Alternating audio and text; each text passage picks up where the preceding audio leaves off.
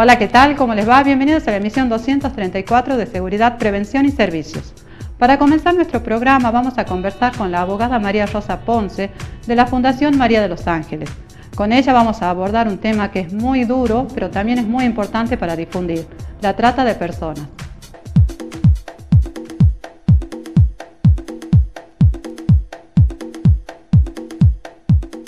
La trata de personas es un delito que está definido en la 26364, que es la ley nacional que sancione, que tipifique este delito como tal. En la, legislación argentina antes no existía, no estaba considerada, y el hecho que exista es todo un reconocimiento por parte del Estado.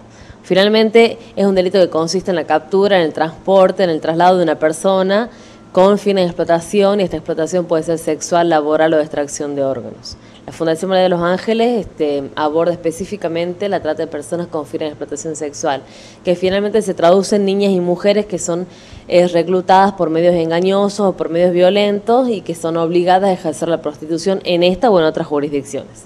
Esta fundación se crea a partir del año 2002 del caso de Marita Bro.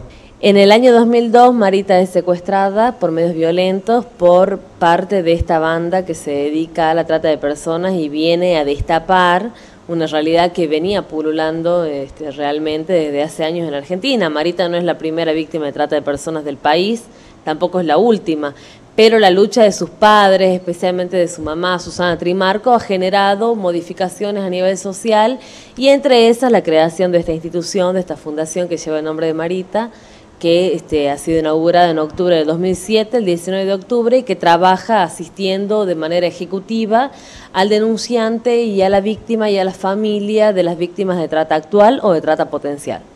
Marita actualmente no ha sido encontrada, pero a través de esta fundación se ha logrado liberar muchas chicas. Sí, la verdad que esta fundación surge por la liberación de muchas chicas también y como institución tiene que ver directa e indirectamente con el rescate de muchas otras chicas. Cuando Susana este, pierde a Marita, cuando Marita es secuestrada en la esquina de su casa, comienza esta búsqueda insaciable y con la fuerza que solamente ella puede tener y comienza a descubrir que primero descubre que la hija ha sido vendida para ser explotada sexualmente, que era toda una novedad porque uno no sabía que esas cosas existían, digamos.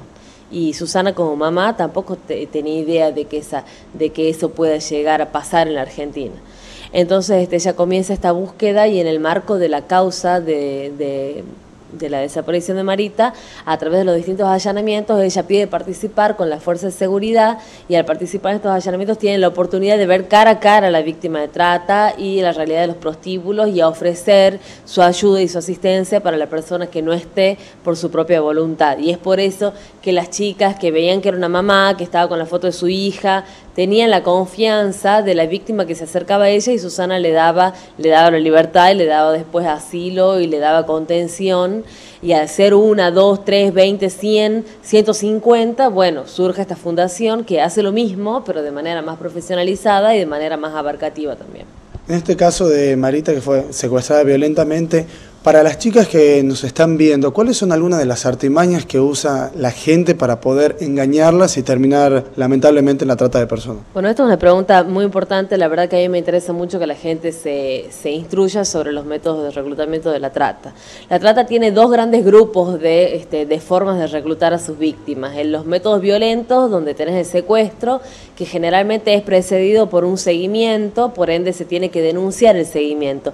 Y no es necesario que se vaya a la policía con todos los datos, el modelo, la patente, el color del auto. Si uno siente que está siendo seguida, tiene que denunciar y se tiene que trabajar sobre esa denuncia porque es un método de reclutamiento que tiene el síntoma del seguimiento. Ese es el secuestro que se realiza por medios violentos de la vía pública, pero como ese medio es poco usado porque es muy evidente, la trata de personas este, genera sus víctimas por medio del otro grupo que son los casos donde no existe violencia física, pero sí otro tipo de violencias como el engaño, como el abuso de la vulnerabilidad de la víctima, como el abuso de una situación de superioridad jerárquica sobre la víctima. Entonces tenemos el ofrecimiento laboral, que se lo hace verbalmente o a través de medios gráficos, o sea, este, aviso clasificado, donde se ofrecen trabajos que son simples, eh, donde se ofrece una paga que es gigante y donde no se pide ningún requisito de capacitación, de experiencia y que generalmente tienen que ser desempeñados en otra provincia o que pueden ser trabajos que se este, ofrezcan para realizarse en Tucumán,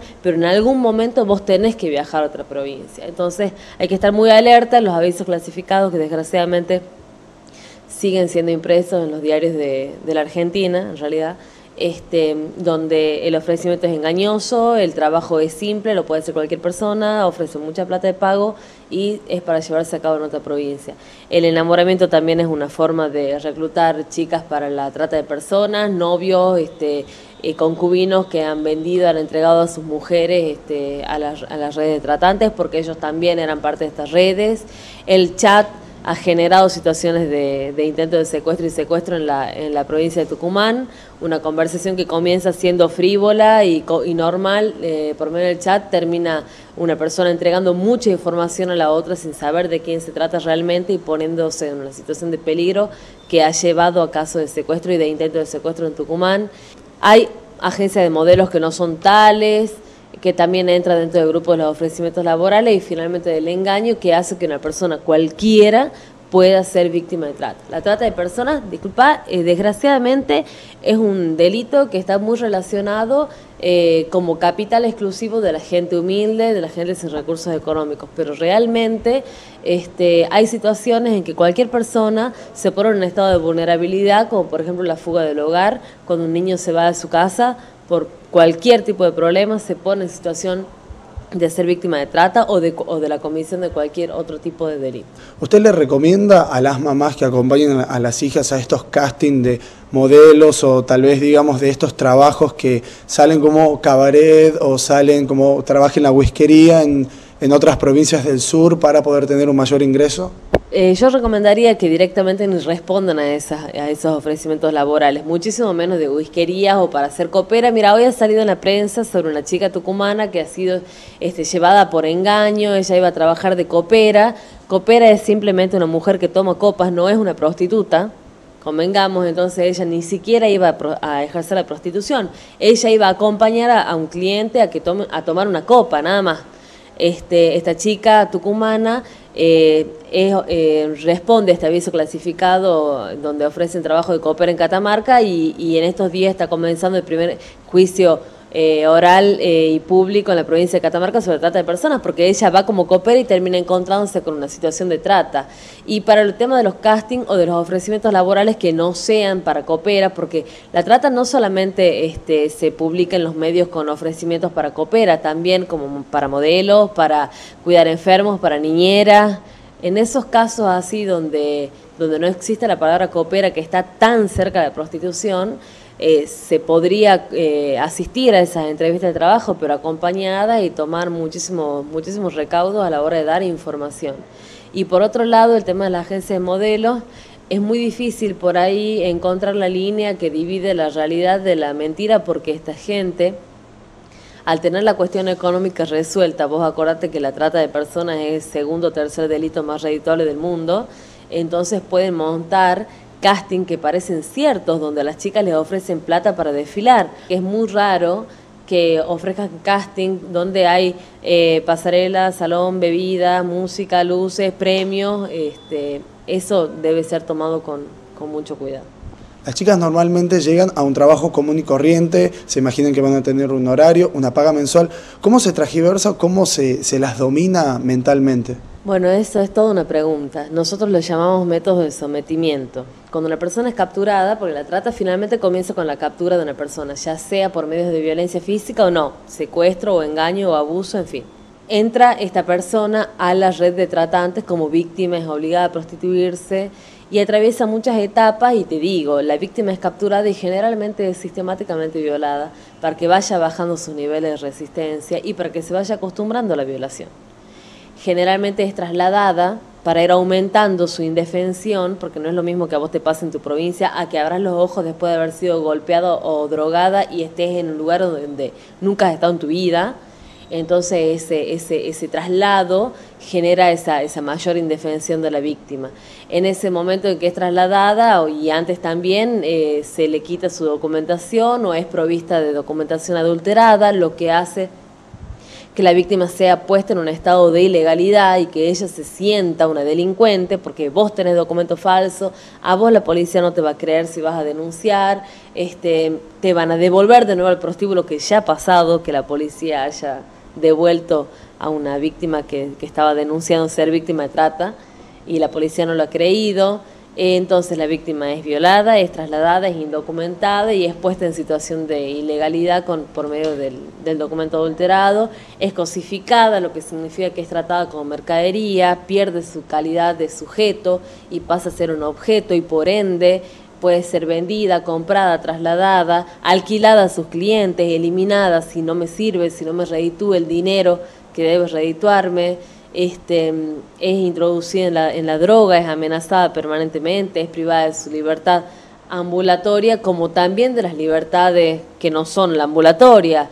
Es obligada a prostituirse en contra de su voluntad y mantenida generalmente en situación de cautiverio donde ella no puede decidir nada, ni genera tampoco este ingreso para ella. Esto, esto es plata absolutamente negro al margen de toda legislación tributaria, en fin, por eso que la trata este, genera tantísima, tantísimos ingresos eh, a las redes tratantes, porque no hay plata para nadie más que para el tratante. Entonces, si una persona que ejerce la prostitución porque quiere y es mayor de edad y puede hacerlo, no es delito, se acerca a este prostíbulo y ahí es sometida y es obligada y es privada de su libertad, en fin, también es víctima de trata, porque por ahí la gente no, no cree y realmente una prostituta también puede ser víctima de trata. Que yo ejerza la prostitución por mis propios medios y para generar un ingreso económico no significa que yo habilite a que vos me explotes eh, sexualmente y en las condiciones de esclavitud en que esta gente es explotada. Entonces, tenés una víctima que ha sido capturada, que ha sido violada, que ha sido trasladada, que ha sido puesta en situación de ilegalidad, que también ha sido puesta en situación de deuda, porque vos a mí me debés, porque yo a vos te he comprado, entonces me tenés que devolver esta plata y prostituyéndote. Entonces, ¿a dónde te vas a ir? Si tenés documentos falsos, te tenés que quedar porque me debés. Entonces, vos trabajás porque yo te obligo, porque yo te drogo, porque yo te amenazo y cuando vos crees que ya me has terminado de pagar, yo te digo no, porque el, el, alojamiento no es gratuito, porque los preservativos no son gratuitos, la ropa, la comida, en fin. Entonces se genera esa deuda muy grande y, y ficticia. No puede, nunca puede existir una deuda que sea generada por mi propia explotación, entonces la víctima siempre se encuentra en esta situación de ilegalidad, de deuda, de indefensión y por ende es muy difícil salir. Y el mayor problema que causa la trata de personas en la víctima no es físico, sino que es psicológico. El cuerpo este, puede recuperarse de las heridas, de las adicciones a las que la víctima es, impuesta, eh, en fin pero lo que más cuesta recuperar de la víctima es ponerla de nuevo en su condición de sujeto, porque ella ha sido cosificada, ella este, por ahí la mente este, reacciona de maneras muy misteriosas. Yo soy abogada, por ende no sé a qué obedecen, pero hay víctimas que no se reconocen, no reconocen su propio cuerpo como propio, no reconocen a su propio hijo como propio cuando este hijo ha nacido en, en cautiverio, este, tenemos víctimas que no recuerdan, han perdido totalmente el sentido del tiempo y del espacio. Hay víctimas que han salido de estos prostíbulos con, con bebés que no saben si lo han tenido antes o después. Entonces vos te das cuenta ahí cómo esto viene a afectar la cabeza de las víctimas, cómo este, yo que me llamo María Rosa entro siendo María Rosa y salgo siendo cualquier otra persona. Finalmente este, su trabajo es tan psicológico, la presión psicológica es tan grande que, que, cambio yo como persona. Ellos pueden llegar a convencerme, porque también ha pasado, de que yo no sirvo para otra cosa que para eso, de que en mi barrio todos saben que soy una prostituta, entonces sentirme aún más sola y de alguna manera ellos terminan convenciéndome de que yo solamente sirvo para esto. Y también opera la identificación de la víctima con el agresor, entonces también en algunos aislados, pero ciertos casos opera el síndrome de Estocolmo en la víctima de trata de personas, entonces vos ahí te das una idea de el golpe psicológico es brutal y es muy difícil trabajar con las víctimas de trata que por ahí reviven las situaciones de violencia, entonces ellas están bien y de repente de recordarlo ya están angustiadas y vuelven a revivir toda esa situación de angustia y es muy complicado en la toma de declaraciones, es complicado encarar una investigación, recomendamos que se investigue por los costados y si se la puede tener a la víctima como último recurso de fuente de datos o de información se la tenga como último recurso, que se trate de hacer una investigación distinta, que la rodee, digamos, a la víctima y no que vaya dirigida sobre su cabeza. Este, la, la terapia también, si no funciona, que la víctima venga, bueno, uno, la psicóloga, no yo por supuesto, la psicóloga va a la casa de la víctima. Es muy difícil el tratamiento de la víctima de trata.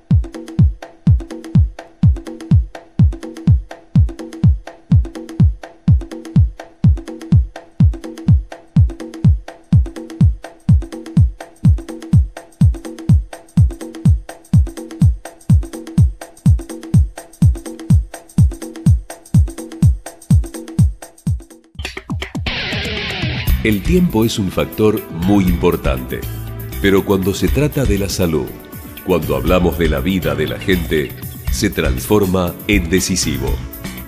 Cada nuevo día comienza nuestra carrera en pos de la salud de miles de personas. Una carrera que demanda una gran responsabilidad y en la que el paso del tiempo es nuestro principal desafío. Porque para nosotros, la vida es vital. Master Group, Seguridad Privada. Marcos Paz 1777, teléfonos 4333 666 423 8095. Queremos darte la mejor protección. Por eso estamos vacunando contra la gripe a embarazadas, mamás hasta 5 meses después del parto niños desde 6 meses a 2 años inclusive, mayores de 65 años y personas entre los 2 y 65 años que pertenezcan a grupos de riesgo. Concurrí hoy al hospital o CAPS más cercano y vacunate. Ministerio de Salud Pública, Gobierno de Tucumán. BST, Videoseguridad Tucumán.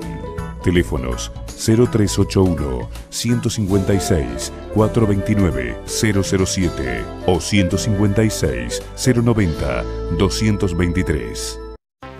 FM Tiempo 95.7 MHz. La radio que marca el ritmo de todos tus días.